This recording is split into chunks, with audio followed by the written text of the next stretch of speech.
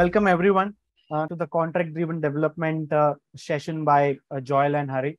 Just a quick introduction uh, from my side. So, uh, Hari Krishnan is the founder and CEO of Polarizer Technologies. Uh, he is a po- polyglot full stack developer, architecture consultant, XP coach, and the trainer. And Joel is, is an engineer by heart. He's a senior consultant. He loves building things.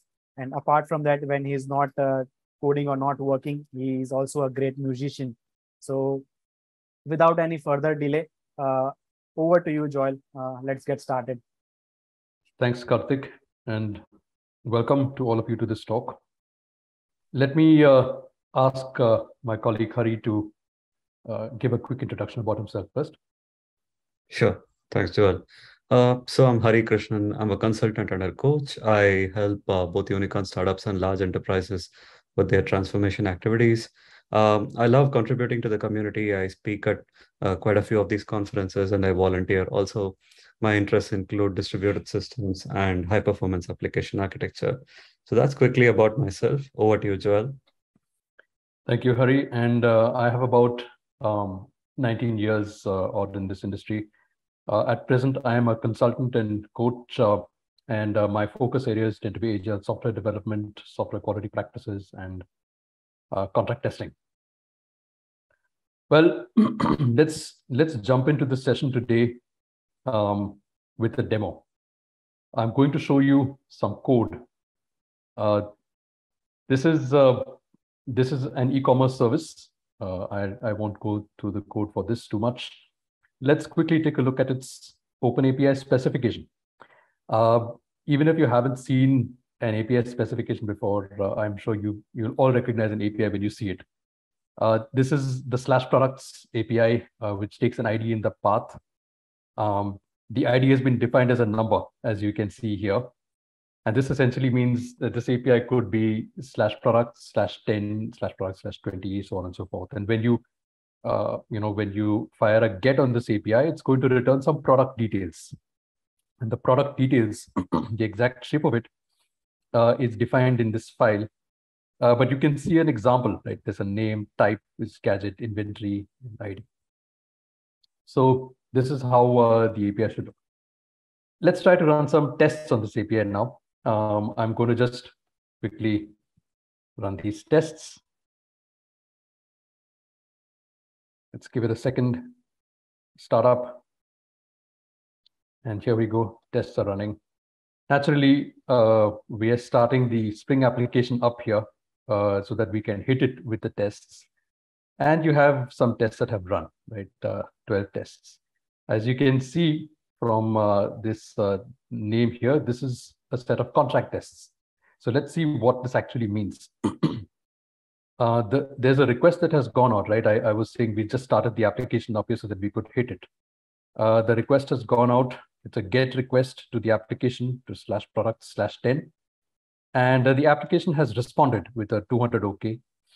And uh, it has a, a payload here, right? And this payload is familiar. I just showed this to you a few moments ago in the contract. And as you can see, it's a, a contract valid payload. Uh, this is exactly the way the specification defines it to be. And uh, this, this test therefore passes, which is good. Here we have another uh, request. This goes to post to slash product slash 10. Uh, the payload uh, this time is uh, an actual, you know, product content. And we get a 200 and, you know, this is about updating product details. You can see the title on the left-hand side. So there are 10 more essentially. And these are contract tests. We'll talk more about them, but essentially what we're trying to say is, is this API specific? Is this is this uh, API implemented in the correct fashion according to the specification that I showed you in the YAML file earlier? Um, what we what what I'd like to show you next is the code for this, right? Where is the code here that generated these 12 tests? And the answer is this is it. There's nothing more. Uh, this code snippet is all you need. And all that we're really doing here is uh, defining a few details about where the service is, what port is it starting up on, which IP is it starting up on. Um, and we are using this uh, very cool open source uh, tool called Specmatic. Um, and we simply extend from this class and Specmatic takes it over and then reads the contract and generates the test for you, and you have nothing to do. This is all free. Uh, essentially, Specmatic generates a test for you for free. There is no other test code aside from what you see on screen. Um, so that's contract tests. Uh, Hari will talk a lot more about this. But before I move on, I have one more thing to show you. I'll just uncomment this line and it says here Specmatic generative tests. So now we take this to the next level. We simply set the flag to true, run the tests, uh, and just from that, we have a lot more tests. And in fact, this time we're seeing failures too. In fact, if you remember, we had 12 tests passing earlier. Now we have 16. And we have 26 failing tests as well. What happened, right? What has changed? Generative, generative tests, basically what we're saying is not only are we looking at the contract now, we are, we are giving it a much more thorough test. We are generating even more tests. There are positive tests and we're even generating negative tests. So let's let's take an example of what the negative test looks like. let's see what what why is this test failed? It's negative, right? You see the word negative over here. Why is it failed? We're saying key zero is missing in the map, right? No such element. All right. There's an exception. Is that really the core of the problem? So let's scroll down past the exception. Let's scroll to the actual request and see what has happened. We've seen this before, right? In one of the cases earlier, post to slash product slash 10. We've seen this payload as well. We are trying to update a product, uh, details of a product. This is new. So as per the contract, the ID is supposed to be a number. The contract does not allow this to be uh, anything other than a number. It does not allow it to be null, for example. Uh, and since the contractor makes this explicit, Specmatic uh, just uh, knows that there's there could be a potential problem here, and so it says let's pass a null and see what happens. And it passes a null. The application obviously tries to read that as a zero. There is no product calls, you know, with the ID zero, throws an exception there, scroll right back down, and the exception is not handled. So we throw a 500. And right there is a problem because this is a poor way to handle, uh, you know, a bad request. You should be throwing a 400 series, uh, 4xx series error. In fact, in this case, ideally a 422, which is unprocessable entity in uh, HTTP. There are another 25 tests like this. And if you make all these tests pass, you have basically bulletproof your application. So that's uh, 26 plus 16, that's around 42 tests generated for you from the contract completely for free. No code other than what I, what I see on the screen. We'll show you how to use Specmatic, uh, you know, to do this and other kinds of things, uh, very interesting things as this uh, talk progresses. But now, before we move forward, um, I think we need to take a step back um, and set context, understand what the problem is that we're trying to solve, uh, and then we start getting deeper into how we are going to solve it. Um, and for that, I'd hand it over to you, Hari. Um, all right. So let's quickly get into the context of why this talk and what we're trying to achieve here. Before that, wasn't that a pretty awesome demo by Joel? Practically taking open API specifications and being able to generate tests for free uh, that's really interesting given that we had to write no code whatsoever. Why is that all important and why is this all the more relevant given the widespread adoption of microservices? And that's why that's what we're going to take a look at now. So to set the context, let's imagine uh, that we're building a mobile application uh, which requests product details from a service, and then the service responds with those details, and the mobile app displays the same. Fairly straightforward, right? Now, the application requesting the data is, is the consumer, and the service responding with the data, let's call it the provider. With that terminology out of the way, let's think about how we'd go about building this consumer, right? Let's say I am the mobile application developer and I have a dependency on the actual provider.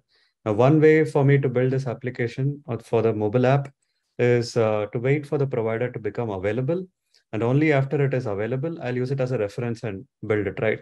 Now, this is the sequential style of development and not really productive in terms of pushing features out. So what is the typical, uh, you know, widely accepted solution to this? I could stand up a mock server to emulate the provider so I can make independent progress on consumer application development, right? This looks good on paper. However, there's a fundamental issue here, right? The mock that I'm hand rolling in order to sort of emulate the provider need not be truly representative of the actual provider. Now that is a big problem, right? How is how is that a big problem? Let's take a look. Now, as a consumer application developer, I may be wrongly assuming that I could send a string for an uh, for the product ID, while the actual service is expecting an integer. And likewise, the provider may be returning a name and an SKU, while I'm wrongly assuming again that it's going to give me back the name and the price. What does that lead to? When I deploy the consumer application, the mobile app, alongside the real provider, integration is going to be broken. And that's bad, right?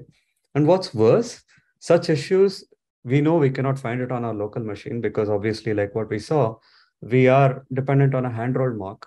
Uh, so we are not really getting any feedback from the real provider. However, this uh, same situation continues even in the continuous integration environment, right? Because there as well, we are using a hand rolled mock possibly, correct? And for the provider, it is not a very different story. Provider also does not have an emulation of the consumer.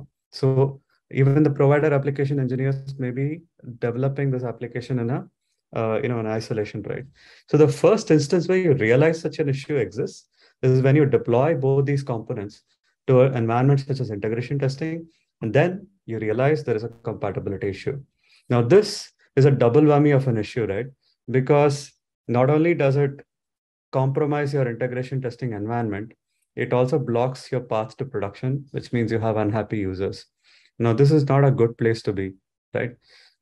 There's more bad news.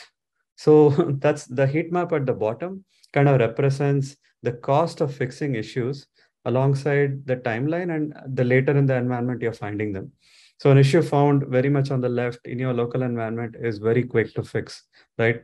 When you compare it to this compatibility issue, which is being found out only in integration or worse in production, that's uh, both you know it's going to cost you in terms of user experience and also it's going to cost you in terms of resolution time which is not a good idea so what would we like to do integration testing like we all know is not a panacea to any of this uh, problem statement right what we'd like to do is to be able to shift left the identification of such compatibility issues and uh, thereby try and eliminate integration testing altogether now is this even possible to find out compatibility issues without integration testing? Let's find out. I'll hand it over to Joel to show us uh, the same. Over to you, Joel. All right. Thanks, Hari. Well, um, as Hari said, we are going to now learn how to shift left uh, to make sure that we can identify these compatibility issues right on our laptops without having to get into integration testing. Um, so stepping back, um, a lot of the issues that we have seen uh, previously between consumer and provider um, are perhaps they are caused by a communication gap.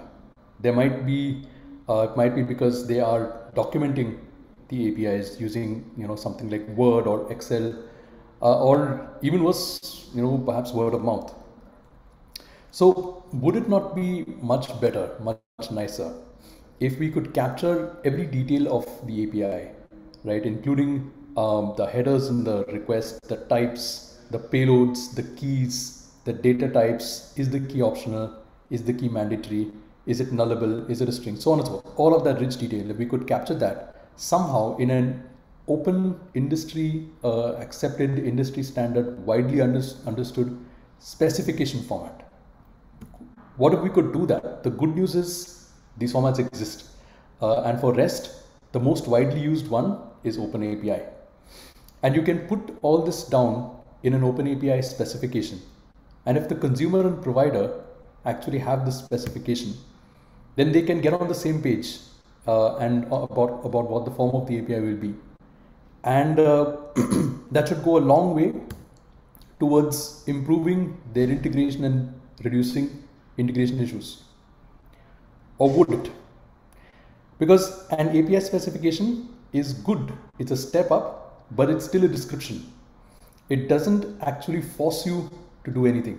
So it doesn't really force uh, the provider to implement the API as per the specification, and it doesn't really force the consumer to have the right expectations about the shape of the API, which should be as per the specification. So we need something more than that. We need to go beyond. we need an executable contract. We need a contract to enforce the API specifications. Now let's talk about that first. The good news is API specifications is something that we do have. It contains all the details that need to be enforced. Everything is there. Um, what if we can turn the API specifications themselves into executable contracts? Would that not actually solve the problem? Right?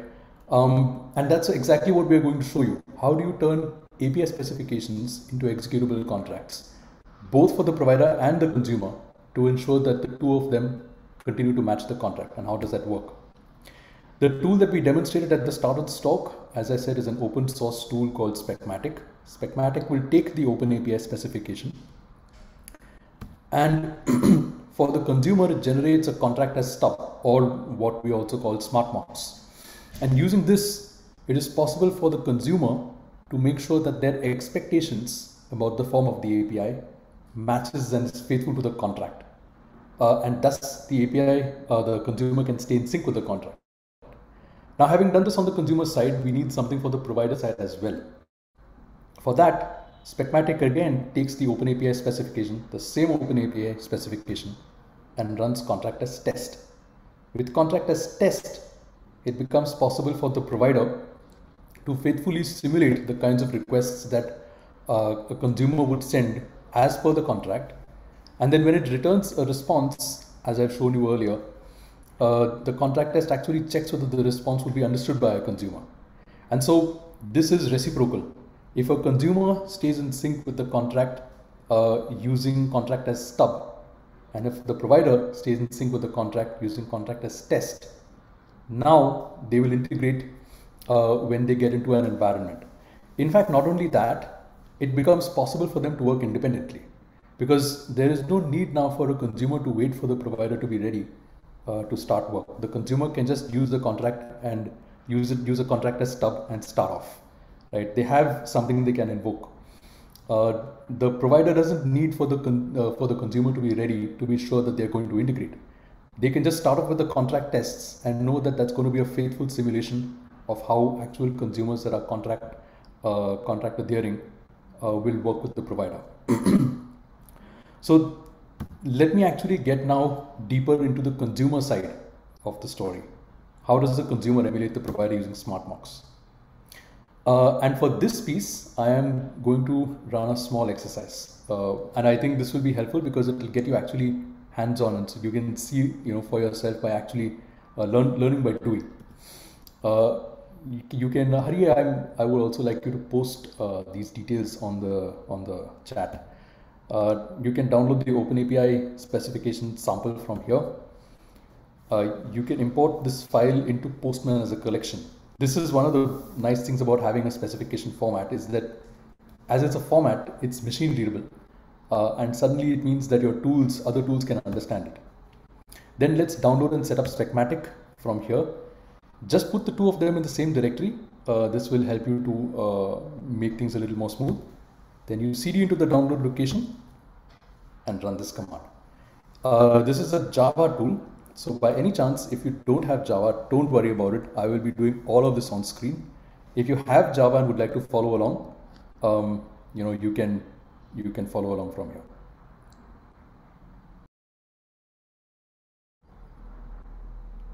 All right. Okay. Yeah, I guess Joel, you can. Uh, you can start off. So um, before we begin the exercise, let's take a quick look at uh, the specification. Um, and now I think after seeing the demo, which I did at the beginning, this will be a little familiar. We see the same products API here, we see the get, and this time the response is inline. So that means when you fire a get request against uh, slash products, what we are expecting to see uh, uh, is this response in return. And the response should contain uh, a JSON object with name and SKU, right? Both of them are strings. So the first thing that we're going to do is start this up as a stub. For that, we're going to say uh, java minus jar specmatic.jar stub products API dot YAML. Let's run this and see what we see. Now, my output might look a little different from yours, but the most important thing is that you get this line at the end. Stub server is running on HTTP colon slash slash uh, NEIP colon 9000, control C to stop, right? And uh, once you have that, uh, and, and this command is, is posted as well in the chat. So I think you should be able to run it from there. Once you have this, the next thing you can do is step into Postman and uh, I'm you can you can do the same thing with curl but I'm going to do the demo using postman because I think most people should have it. We're going to import this contract. Right. Let's start off with that. Let's import the contract. Boom. Postman understands it which is awesome. Import. Okay now we have a sample products API we have get products and postman is set up. So essentially we are a let's change this base url i'm going to change it to keep things simple. Localhost 9000 to slash products colon id colon id here is postman uh, syntax for a variable. The variable is declared below. Path as under path of variables. And postman has generated something random. Let's put in you know a value of our own and let's hit send. See what that gives us. Get a response with some random values. What's happening here? So basically uh, Specmatic has understood slash products slash one. It knows what that means because this is in the specification. But um, it, we have not yet told it what to do with slash product slash one. Uh, and so it helpfully goes back to the specification, uh, looks at the format of the response, generates a response, and returns it. And this is basically a randomly generated response with the right keys. Um, just to prove that it's possible, I'll to tell Specmatic what to do, send 5 and uh, return batteries with, you know, this is a preset value. I told Specmatic how to respond to 5. That's something that we will see later, a little bit later. Has everyone followed with me so far? Has everyone got to this point? After this, I'm going to take it on to uh, something a little uh, uh, a little further basically. So I'm not going to ask everyone to follow along.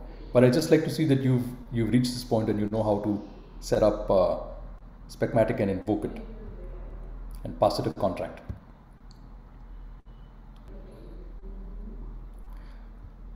Okay. Okay. I guess it's all great. Okay, nice. Thanks for the feedback. Yeah. Go ahead. Cool. Thanks.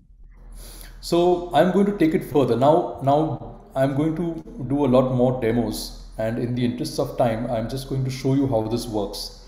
But i think uh, what you can always do is get your hands on an open api specification and these things are all very easy to try out. Uh, we will share with you the documentation for doing this later. But for now i'm going to kill this and i'm going to switch to another window with a slightly more involved contract where we are going to try out a few more things so you can see the this is a very similar contract. In fact, this piece is exactly the same, and I've added on um, a small API here. Here in the second API is for adding a product. So slash products, you post an object to it and you add a product. So let's see what uh, what we can do, right? Uh, we're going to say specmatic stub products API, right? You've seen this command before. This time I'm not saying Java minus Java because I'm setting, I've set up Specmatic as an alias. Uh, so the command just works. and we start the stub off. And uh, now we try five and you see the randomized response because this time uh, I've started up a new instance of Specmatic and I haven't told Specmatic what to do with uh, the value 5. Well, let's do that. Now we'll see how we do this. So first I create a directory. All right. Inside the directory I'll create a file. Let's call it stub.json inside this file. So Specmatic is reacting and uh, it knows that there's something wrong with the file so it hasn't loaded it. Inside the file I will put this content. Which I've just kept in a snippet there. And uh, I will just change this to right so abc123 save it right Um, I'll just uh, give this a quick restart. There you go. Specmatic has read and accepted this uh, file. Let's fire a request here. Specmatic now returns batteries ABC123. All right. So first question is, what if I want to stub out multiple things? How do I do that? Let's say that it's not only batteries, but also torches, right? So we'll call this torches. We'll rename this to batteries. In torches, I guess we should have a different product ID. Make that 10. Torches. Save it. 5 reacts with batteries. 10 reacts with torches, right? Of course, we forgot to change the SKU, right? It's ABC123 and if I send it with 5, it still says ABC123 and uh, i think for the purpose of you know this test this situation we really don't care what the value is so i'm i don't want to have to think about it i just say string here i'm just telling specmatic you return some random you know value leave, leave me out of it you figure it out i don't care what you return just get me a string back right and uh, let's see now what happens when i make a request to 5 Specmatic returned a random value. And if I do 10, Specmatic returns another random value. Right? And uh, this way I can get a load off my head. Let Specmatic do the work that I don't want to do. Um, and this makes things a little easier. Maybe instead of torches this time, we'll call it notebooks. And uh, this will be 15. This will be notebooks. And voila, give that a right let's see what happens when you do 15 15 should just work there you go notebooks returned as well of course now comes the next interesting point what if we tell specmatic to stub out the whole point of doing this was we should not be able to stub out something incorrect so let's try to do that and see what happens we know SKU is supposed to be a string not a number so let's try to stub out a number give spec, yeah, there you go. Specmatic immediately tells you response.body.sku. So these are the breadcrumbs. The breadcrumbs basically give you pinpointed feedback about where the problem is. And this is exactly what the problem is. Contract expected string, but stub contain 10, which is a number. Um, which is fair. Uh, interestingly, you know, we had set this before we made this change now. Specmatic no more recognizes 15 uh, because it's rejected it right? Specmatic will not accept a stub that does not match the contract. So enough of the response. Let's take this to the request. Let's say we want to, we had a, we had an API to create something, right? So let's see how that could work. We'll say create towel, right? Uh, the create API was a post, as I recall. So there was a post. Um, to slash products. The body basically goes in the request this time. This time we are saying uh, towel. We are saying PQR XYZ. And what should the body be here? Uh, we'll have uh, returns with a 10 or something. Let's save it. Let's see what Specmatic thinks. Um,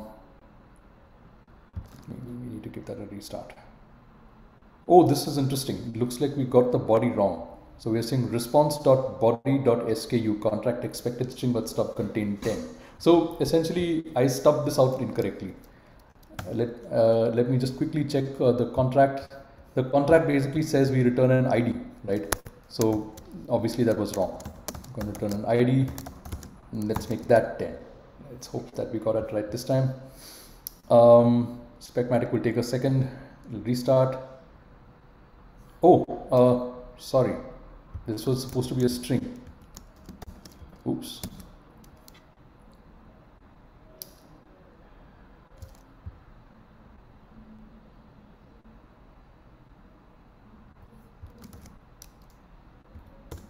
Oh, the problem is somewhere else. The problem is somewhere else. My bad.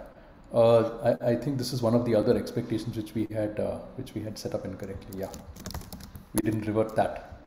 uh, and, and so now now we have this problem here, right? I think I think we should be all good now. But but this is interesting. Uh, you this is exactly this is exactly the kind of problem that Specmatic is designed to solve, right? Everything is loaded now successfully. I was not allowed to. Nothing was allowed to fall. Nothing was allowed to fall through the cracks. I, I missed one thing here. I got it there. Specmatic got this one. I fixed that. I missed this. Specmatic got that. Like nothing is allowed to fall through the cracks. So now we post products towel PQR XYZ. Let's just take this body and post it. Right. Um, I'm going to create a new request here. Let's post it to HTTP localhost 9000 products. We post the body. Uh, we say raw. We say JSON. We post this, right? And we send. Specmatic accepts it. Of course, down to the same question, we might not really care about string we send that that is accepted as well um, and once again let's try to answer the obvious what happens if we stub something out here uh, we know what we know what error we get right what happens if we try to do that here as well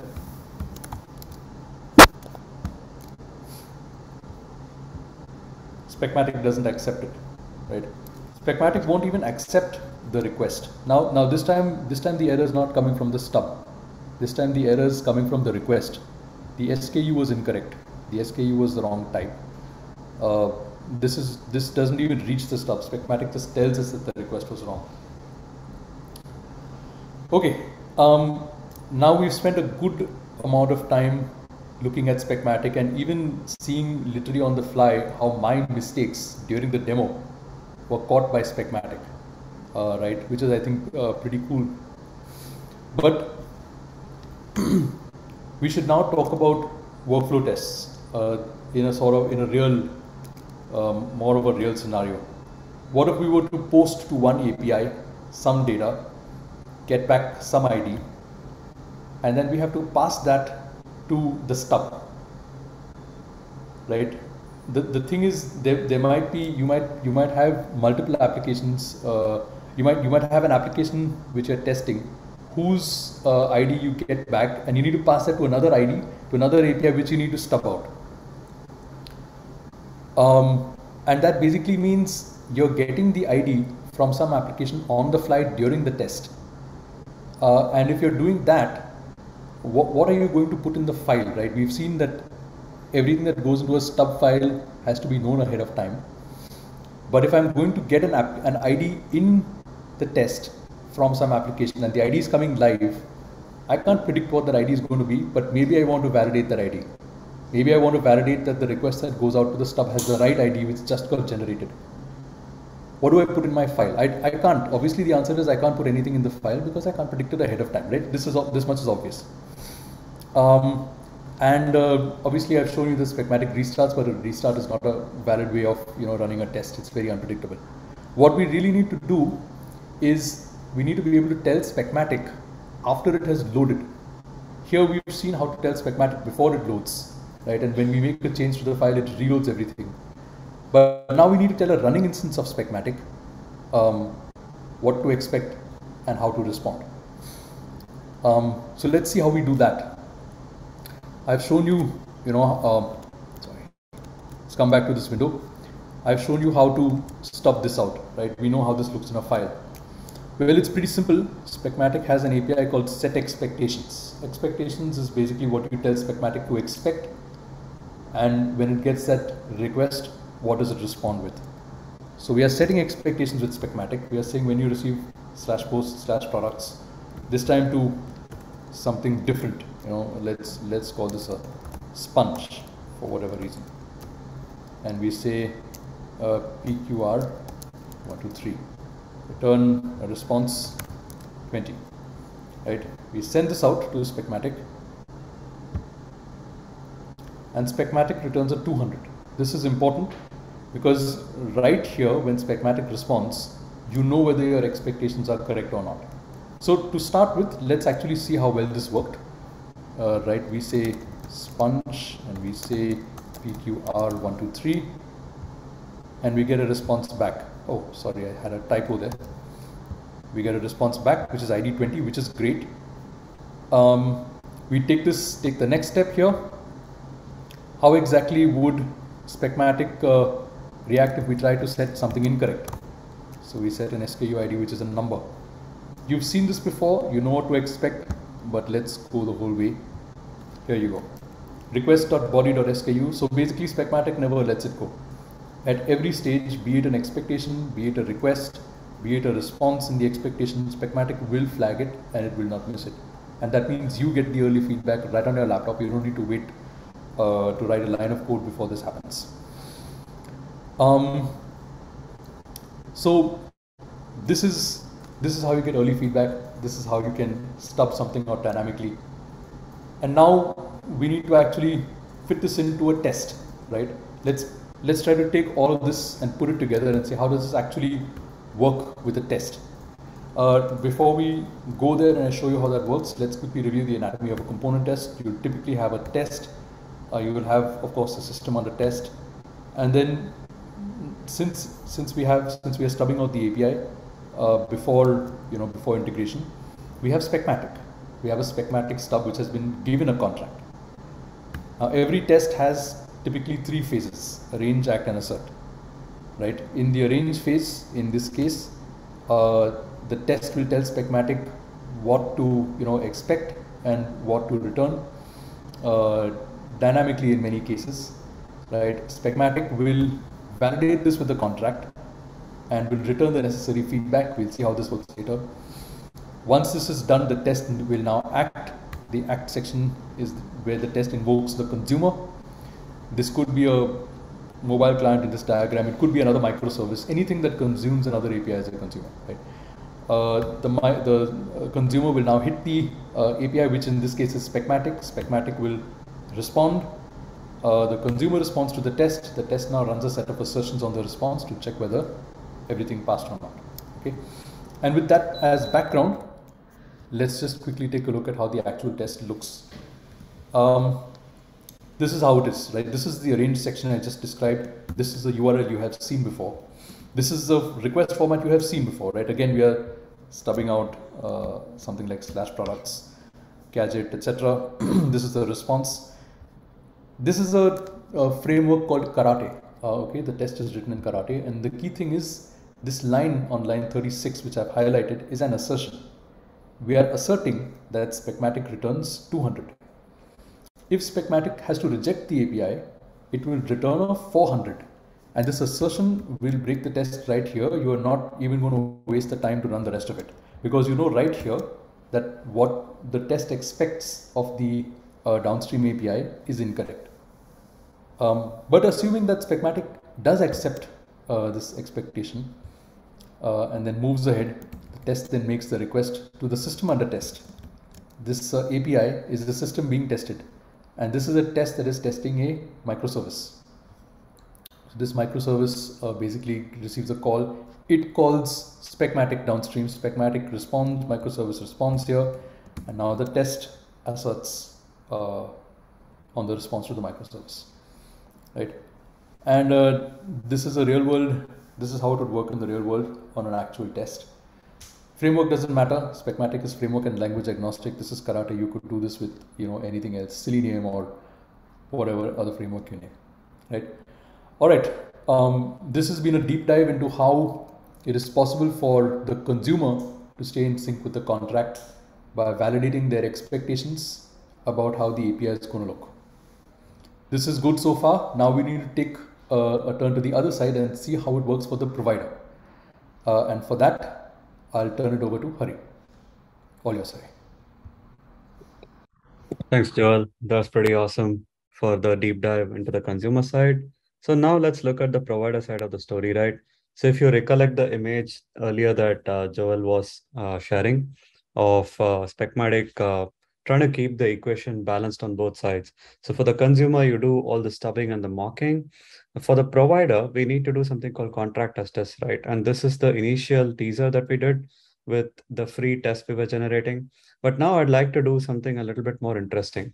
And I'd like to give it a spin in terms of trying to understand what we're trying to do here. Right? So given you have a specification and you have a system under test, we could generate tests and that much you have already seen, right? We could use Specmatic to uh, leverage the specification as tests and verify that the system is indeed adhering to the specification or not. Now, if this is the case, there is a hypothetical scenario we can think about.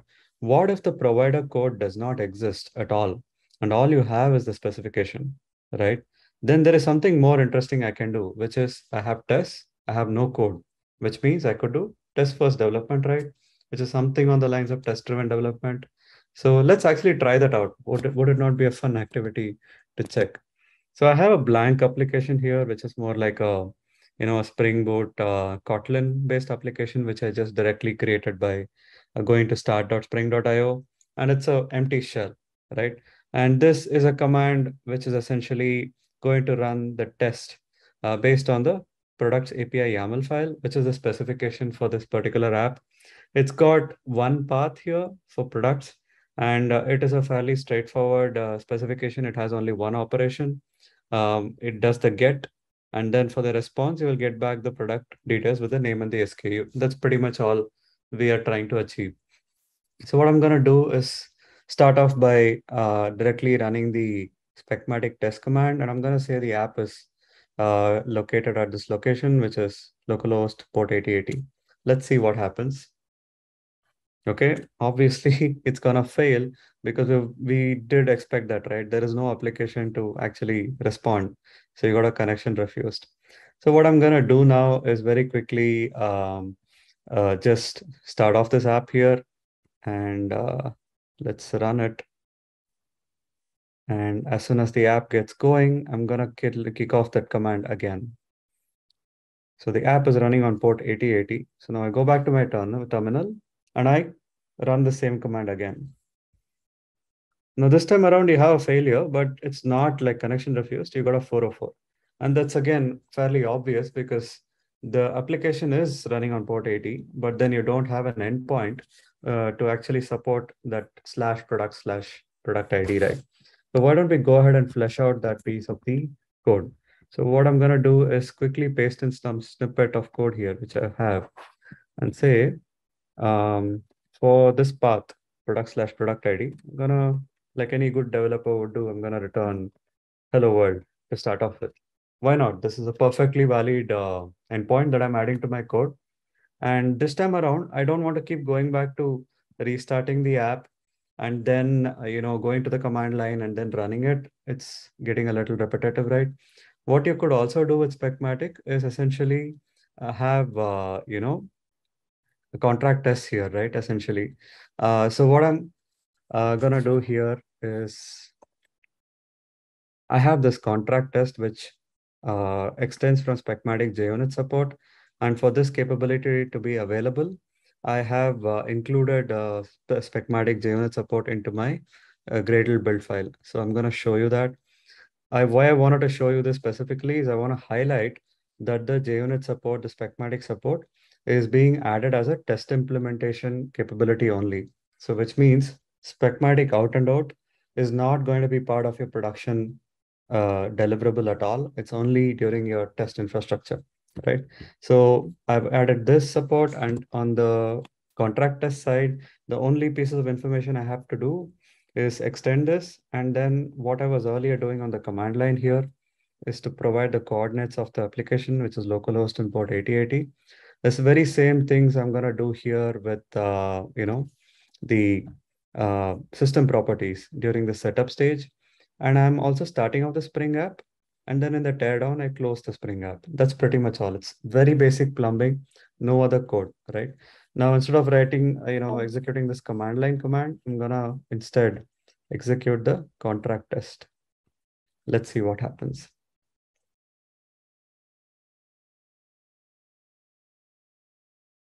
So last time we saw the 404 because the URL itself was not supported by the application. Now this time around, let's see what is the failure. So you got a test failure now. And this time it's not a 404, it's still a 200. So what, why did the test fail? Again, fairly obvious because I returned a hello world, but the specification file says that we are expecting a object with name and SKU right? So obviously I didn't do a good job. I need to go back and next do the next incremental step, which is I'm going to add in the uh, data object here, which is the product itself. Very quickly, let me paste that snippet in. And I'm also going to return the actual product itself, which the test is expecting based off of the API specification. Okay, and I quickly kick it off again. Will it pass now? Yes, no, maybe. Could put it on the, in the chat.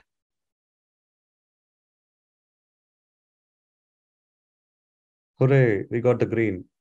It's always a joy, right? When you go from red to green, when you're doing test-driven development sort of uh, approach. Yeah, so this is fun. Uh, we've gotten to this point, but then this is not really how the real applications would look like, right? Uh, because you have to think about test data management now. So let's take a look at that. Now, if you look at the log here for this request, Specmatic randomly generated some ID 887 and sent it. And because we're always hard coding and responding with product details, the test is always going to pass. So that's not a real, uh, you know, very watertight test. In uh, what is realistic is your database might have only one product or test data. You have like two, three rows and anything else which comes in, it's not going to be able to fetch. So I'm going to simulate that situation by saying if the product ID is uh, not equal to two, so let's say that's the only ID that I have in my test data, right? I'm going to throw a runtime exception. So I'm not entirely fleshing out all the repository layer and the service layer and all the TDD layers here. But just for the purpose of this demonstration, I'm quickly trying to say that this line here, line number 14 is sort of representing your repository, which says, I don't have any other test data. Now let's kick off this test again and see what happens. Will it pass? Will it fail? And if it fails, what will it fail for? That's the big question. Okay. There is a null, which is interesting. Let's scroll down to see what happened. Oh, oh, okay. Oh my, this is a 500 internal server error. And that's not good news, right? Like ideally we have to handle it, but then first order of business is go from a failing test to a passing test, and then we'll get back to this 500 problem. So what is the issue here? Specmatic is repeatedly sending some random IDs. Last time it sent some other number. This time it is sending 650. But in my test data, I only have ID 2. So how do I tell Specmatic that um, you need to send two? And just some random number. So what I am going to do is leverage examples inside of um, OpenAPI specification. So I'm going to say uh, value two for this particular parameter called ID. And also on the response side, I'm going to say that the name and the SKU are these two values. I'll save that in, and then I'm going to kick off the test. That's the only change I've done here. Now will it pass? I'm going to keep asking you this question. So it's going to be interesting if you can post in the chat what are you guessing. So we could almost try pairing on this problem, right? Okay. So this time it passed. Again, it's a good feeling. We went from red to green to red to green. So we have a good rhythm going here in terms of the TDD. Uh, so why did this work? That's the big question. If you look at what I did, I gave a very specific name to this example on the request side called 200 underscore OK. And I use the same name down here in the response for the response schema also. Now, this is not a capability that's coming out of OpenAPI. OpenAPI has request and then multiple responses, right? I could define 200, 400, 404, 422, so on. But the issue is uh, the which request will generate which sort of a response code is not necessarily possible to define within plain open API. So what we've done with Specmatic is use this naming convention based uh, mechanism to stitch together examples. to say, hey, this kind of request produces this kind of a response, right? And that's how SpecMatic is able to send it to and glean that, yeah, I got back a book and this SKU, so it makes sense. And that's how this test passed. Okay. Now let's get back to the original issue, right? Which is it was throwing a 500 and which is not the right thing to do, which means now I need to define how the application should behave in case of a uh, 404 if the uh, ID is not found. So I'm going to quickly paste one more example in, which makes sense, right? And I'm going to give it a meaningful name such as 404 not found. And by now you also know the drill because I need to say, I need to have a 404 response here, right? I'm going to paste that in also. So right after here,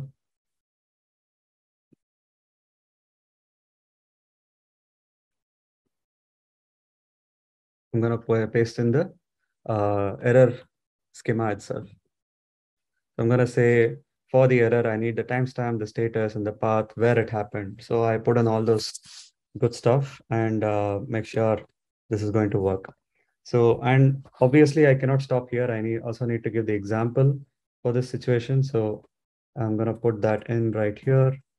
I'm going to say this time around, I name it according to the same name in the request but I'm not really defining what I what the timestamp should be, what the status should be, because these values will keep changing, right? I cannot hard code it into the example. So which is why I'm doing the same thing which Joel did earlier, right? Which is Specmatic is able to figure out uh, if it is just a string or it can pattern match a data type or it can like, you know, match a very specific value. So I'm going to say I don't really care as long as these four uh, attributes are there in the response.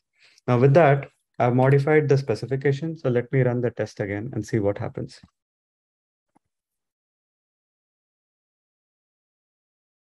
Now notice how my behavior itself has changed, right? Like practically this time, uh, I am not changing the code. I'm changing the specification first.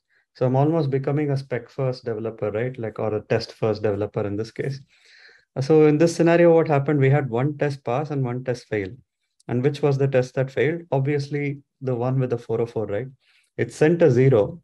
It was expecting a 404, but then it got a 500. Now we need to fix that problem. Now this is easy.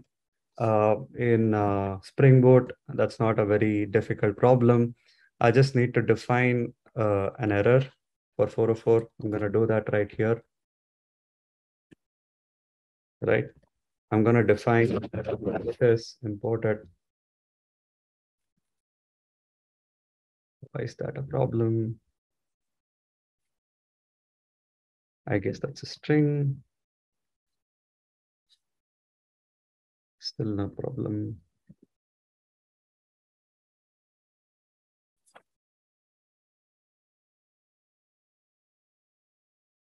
Hmm, okay should be that.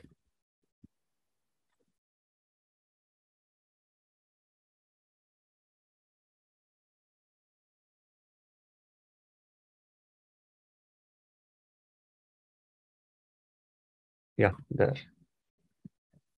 This can be a little bit of a problem here. And then once we're done that, instead of throwing a runtime exception, this time around, I'll throw a very specific exception that I'm doing. This is just Spring Boot way of doing it, but then if you're using any other stack, you could do whatever makes sense there. Now with that, I'm gonna run the app again. I mean, I'm gonna run the test again and will it pass now? And this is a lot of fun, right? Because you're not really trying to, you know, just randomly just sit and write code and figure out whether this is work or going to work or not. Now I'm practically writing just enough code to fit the bill for the specification. And every time I make a change, I do make the change in the specification first, which means I'm thinking about the API design first. Look how it forced me, right? Because I did not have a 404 in the first place, right? Now, because I did something in the app and I realized, oh, I did not have, uh, I had not designed the, the error code. So I came about, came over here, I designed my error schema. Then I added a 404 response and then built the app. So it's a nice little feedback loop for me to make sure that I'm pretty much in line with the specification and also building to the specification. And nowhere have I gone off the actual track that I need to be on. And just to call out, I have used Spring Boot for this uh, demonstration, but then again, Specmatic is both language and platform agnostic. It's just an executable. Like I showed you earlier, I can run it from command line as well, but just for the purpose of convenience. And since I have it, I'm using the JUnit support for contract testing.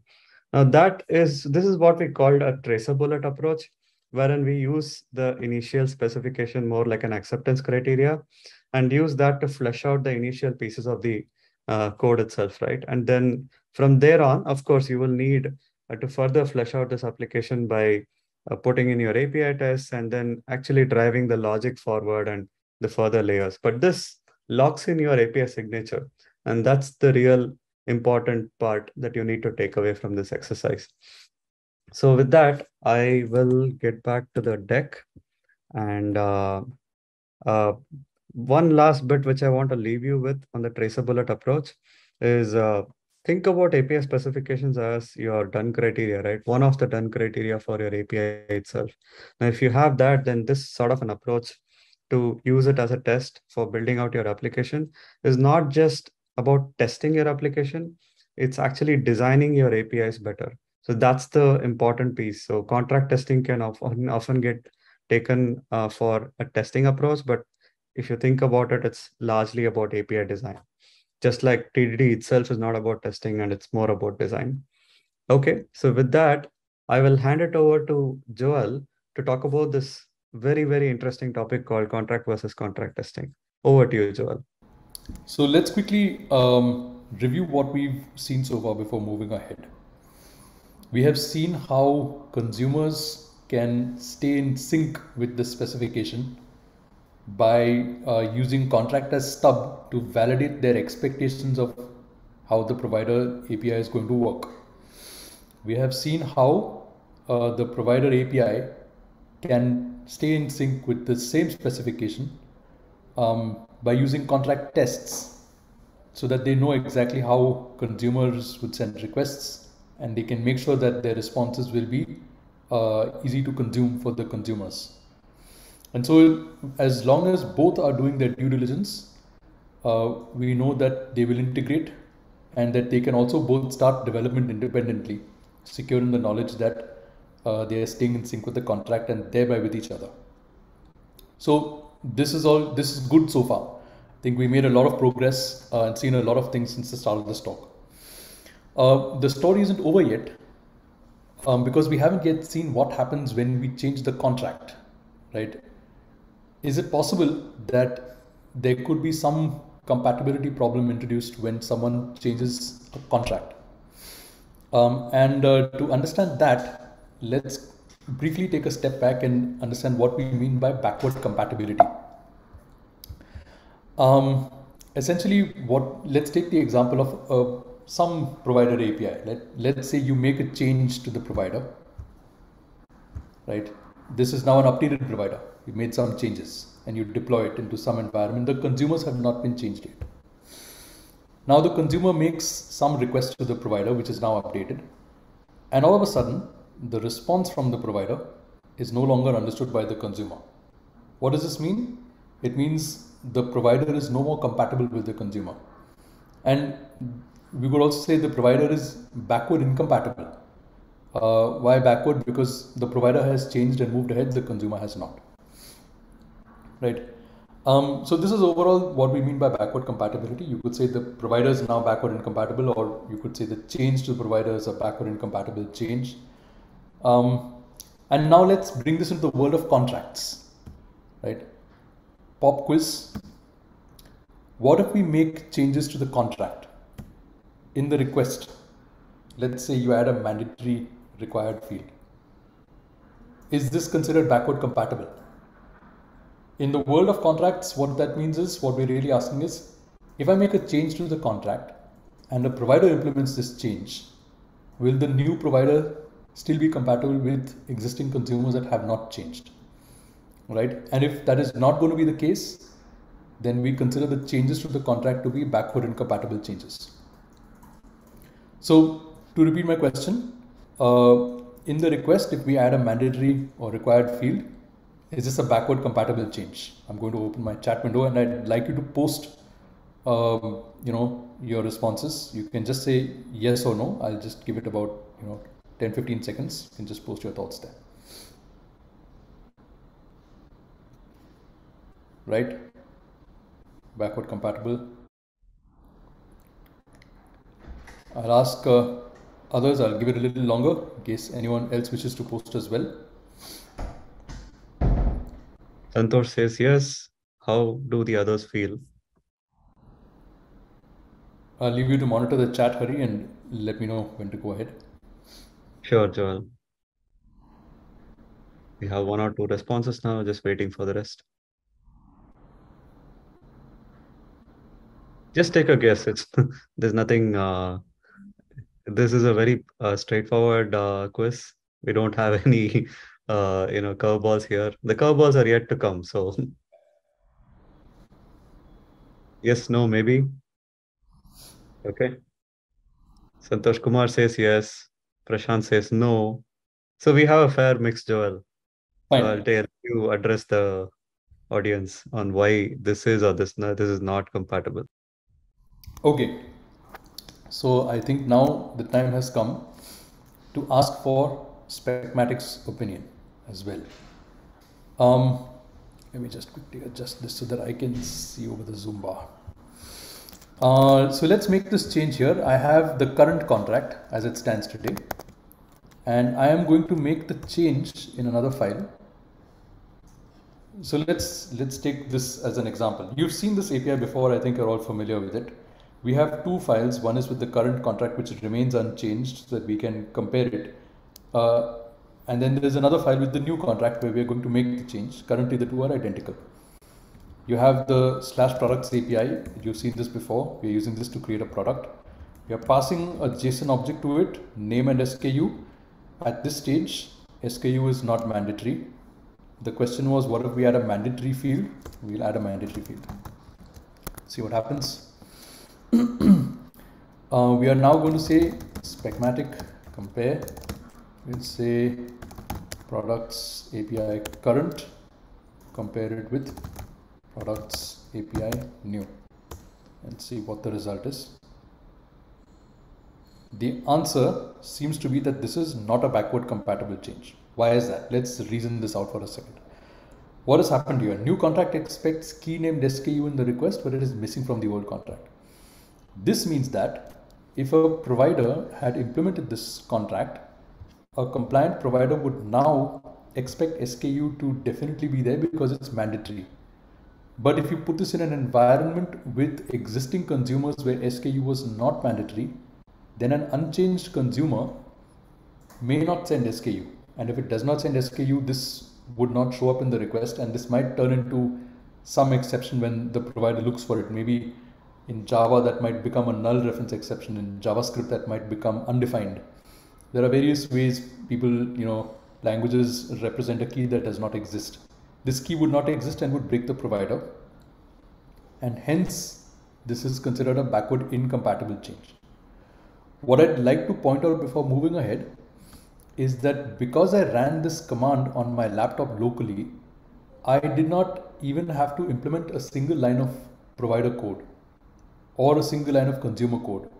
I didn't have to get any errors, be it contract test errors, be it uh, you know integrated uh, system errors. There were no errors at all.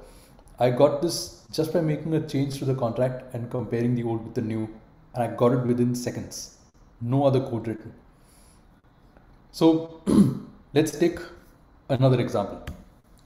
In the request, if I change an optional nullable to optional non-nullable, this, what do you think? This is actually also a relatively easy one. What do you think? I'll ask uh, Hari to uh, monitor the comments and let me know. Sure. I pasted the same question in the chat so you can stare at it for a little longer. And because there are two aspects to it optional, nullable, optional, non nullable. So there's a truth table now you have to think through.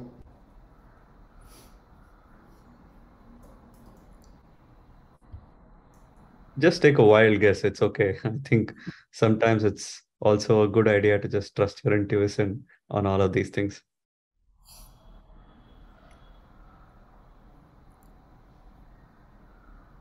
No, okay. We have no, it's backward incompatible. Okay.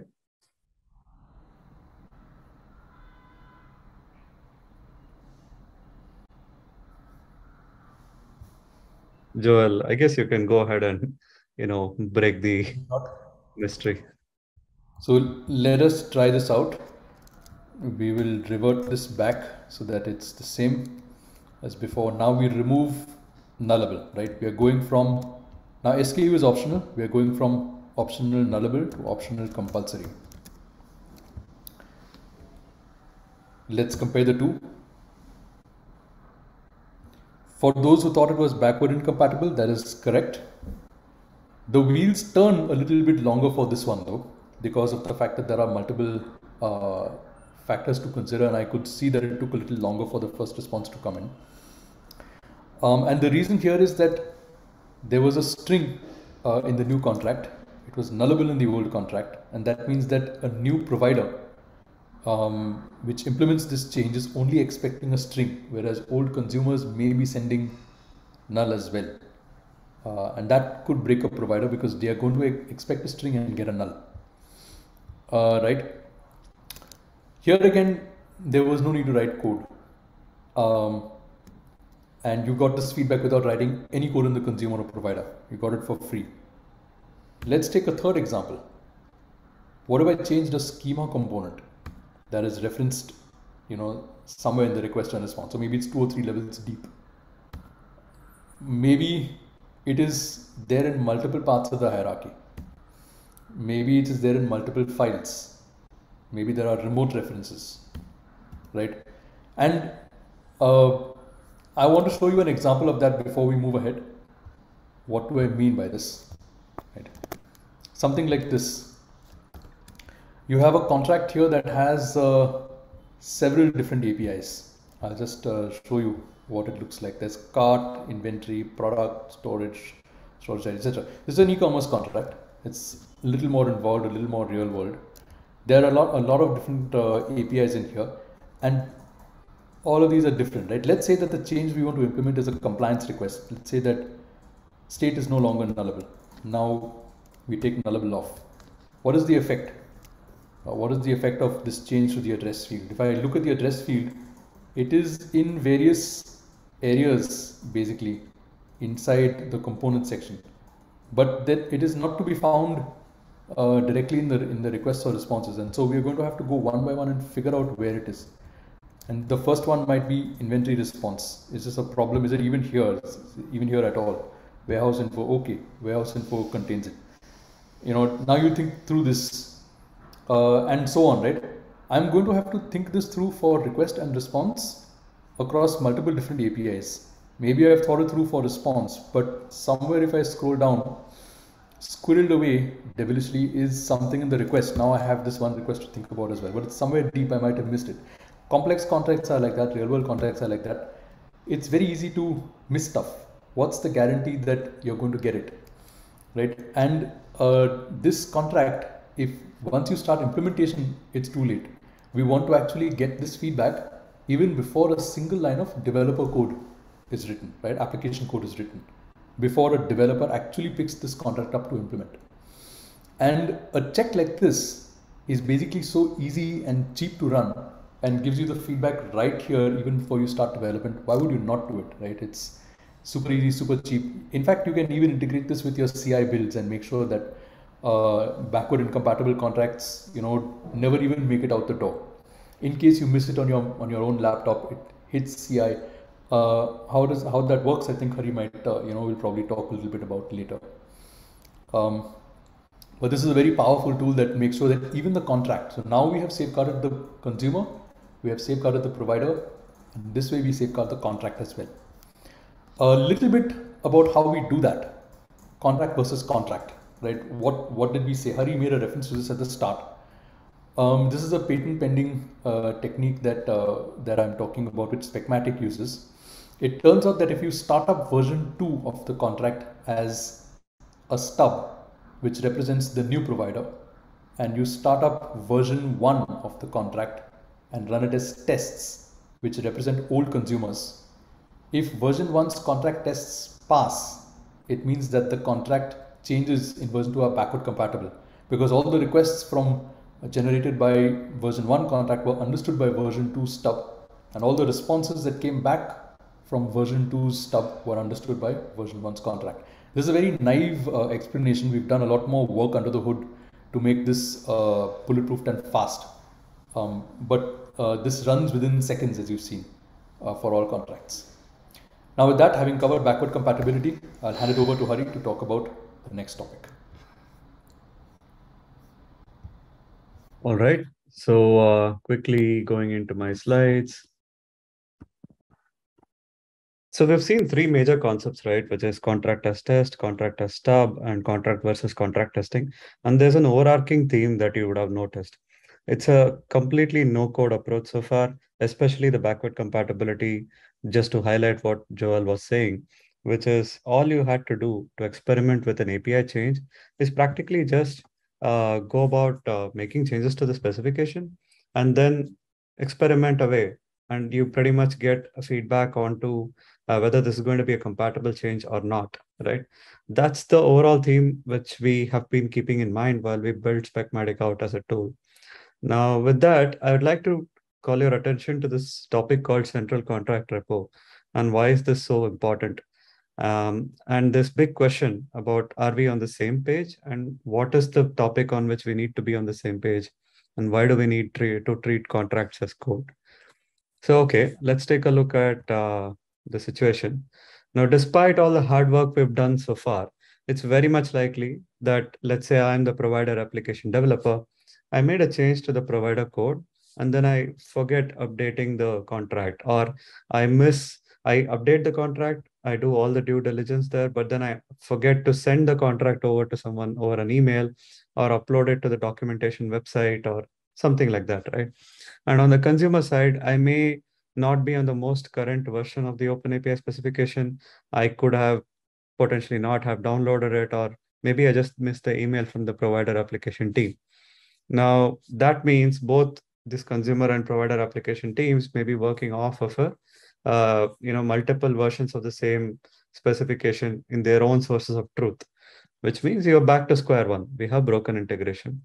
Now, that's not a pretty picture. What we need is a single source of truth when it comes to the OpenAPI specification, because that's when you can really leverage the power of having a common agreement or a contract, right?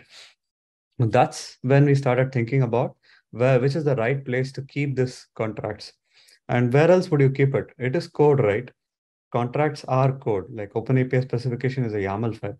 So why would you keep it anywhere else? We the ideal place for it to be is a repository a version control system.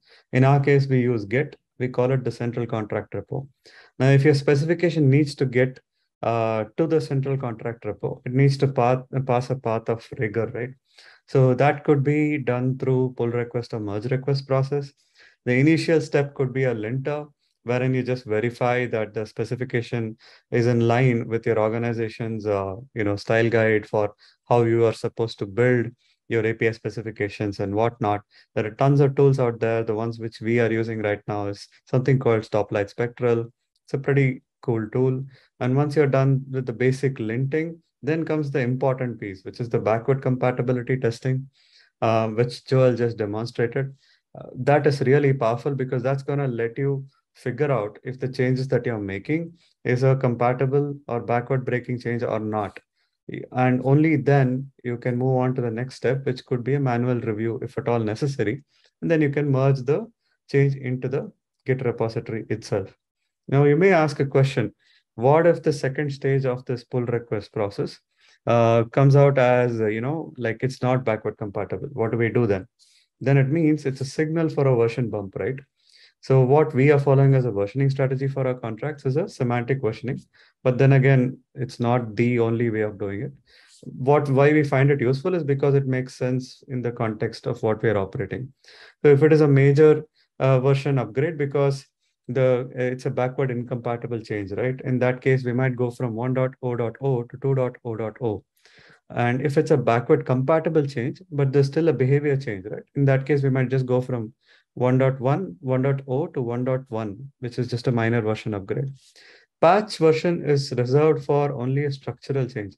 So for example, if I'm extracting a mixin schema from the central open API and pulling it out for reuse purposes, only the structure is changing and the behavior is remaining absolutely the same.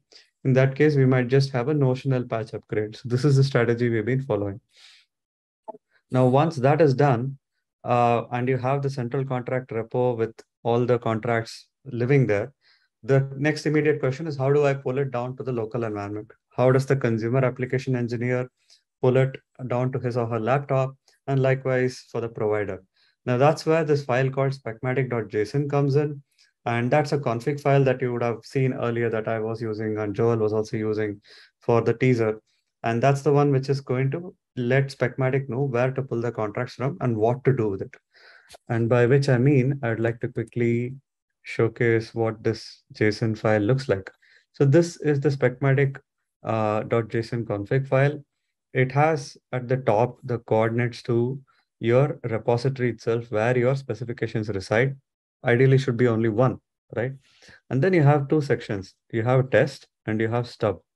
Now, a contract, like you've already seen, can be leveraged both as a test or as a stub.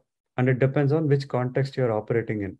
If you're operating in the context of a consumer, the contract may be leveraged as a stub. And likewise, on the in the context of a provider, the same contract may be leveraged as a, uh, a test. So let's actually take an example of this. So this is central contract repo that we are maintaining on uh, as an example. And if you notice here, we have um, like just a few contracts sitting here. And the naming convention for the folder structure is more like a typical package naming convention that you would follow in Java or C Sharp or any other programming language, because it just makes sense, right, to organize your contracts in the same uh, hierarchy as you would any other code, because contract is code. Now, once it is in here, uh, let's say I have this UI application, which is the consumer, uh, which needs to pull these contracts and need to emulate the provider. So in this case, I reference the contract setting there under the stub category. Notice how this API order v1.yaml is used as a stub here. Now, this is the consumer application, right?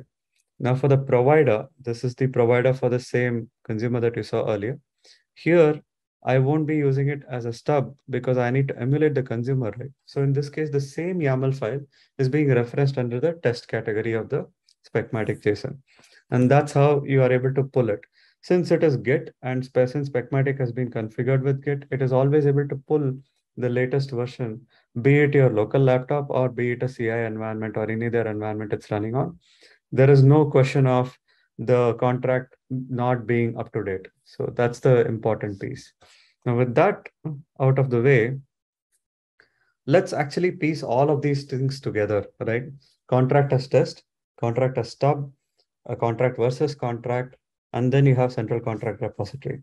Now, with these four items, how does it all fit into your CI pipeline itself? How do you embrace CDD in the CI? Now you know that the central contract repo has the open API files and Specmatic can pull from there and it can make it available as contract as stub server for your local environment of the consumer and also contract as test for the local environment of the provider. This part we've seen. Let's actually take a look at how this pans out for the CI environment for the consumer. In the CI, after the, you have run the unit test for the consumer, when you're component testing, you don't have to look for another tool for stubbing out the provider.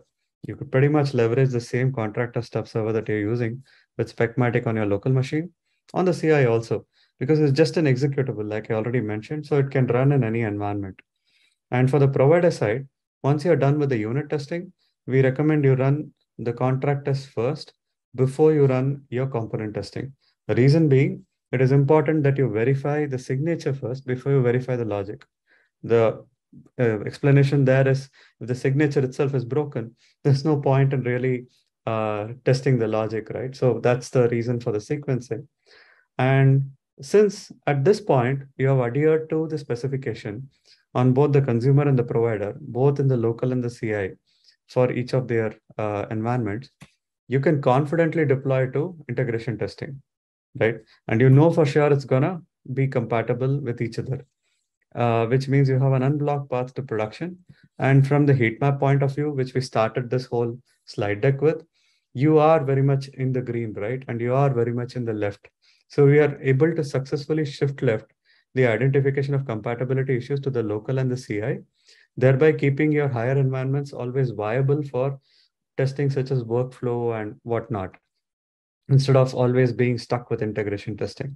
Now that's how Specmatic is able to help you leverage API specifications as executable contracts so that you can make independent progress on both building your consumer and your provider applications and confidently deploy them independently with while you can be sure that they're going to be play that they're going to play along well with each other when deployed together in a higher environment.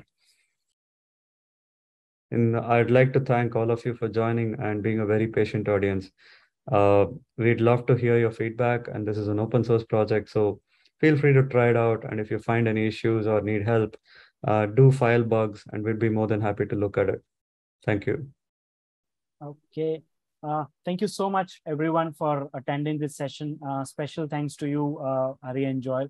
Uh, the session was uh, really very well planned. The demos and everything were really, really well. So thank you so much for everything.